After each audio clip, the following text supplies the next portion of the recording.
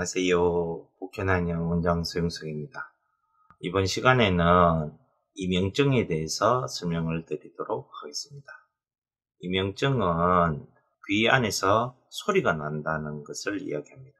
대표적으로 이 소리가 나는 증상이 있고 어지럼증 두 가지가 있는데요. 이 귀 안에 보면 이 달팽이관 안에 보면 이석이라고 있습니다.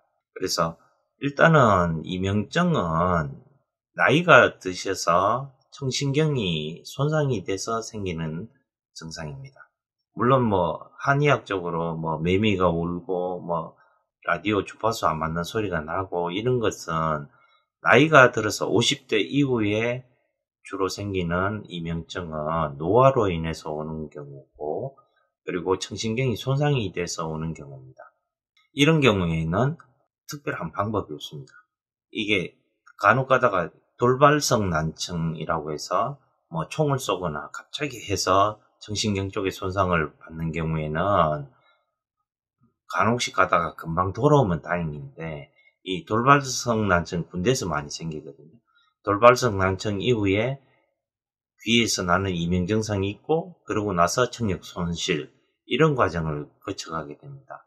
젊은 사람들 같은 경우에는 돌발성 난청이 많고 나이가 들어서 오는 이명증은 청신경이 손상으로 인해서 생기는 건데요.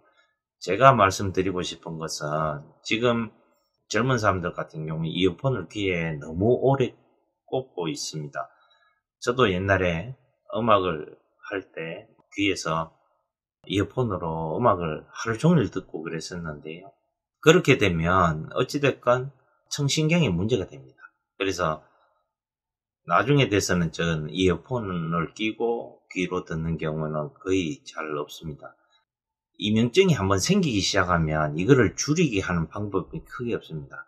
이명증이 무서운 것은 이명증이 평상시에는 잘 소리가 안 나는데 자려고 누우면 귀에서 소리가 나고 그것으로 인해서 불면증이라든지 수면 방해가 돼버리면 삶에 영향을 되게 많이 줍니다. 그래서 어, 젊은 분들한테 좀 설명을 드리자고 하면 이어폰 끼는 것을 최대한 좀 줄여서 청신경을 최대한 좀 적게 쓰는 자극을 좀 적게 줘야 됩니다.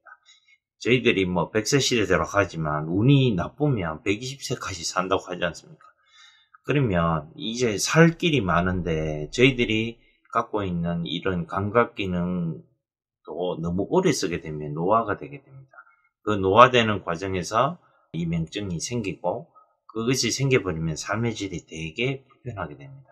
그래서 이어폰을 쓰시더라도 이어폰을 쓰는 시간과 쓰지 않는 시간을 좀 구분해서 될 수 있으면 청신경의 손상을 최대한 줄여주는 것이 나중에 귀 쪽에 영향을 미치는 것이 조금 줄어들 거라고 생각이 됩니다. 감사합니다.